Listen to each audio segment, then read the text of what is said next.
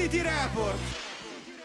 Il biglietto da visita di questa zona ha una demarcazione netta tra il lato sinistro, quello di Porta Nuova, e quello della stazione Garibaldi. City Report.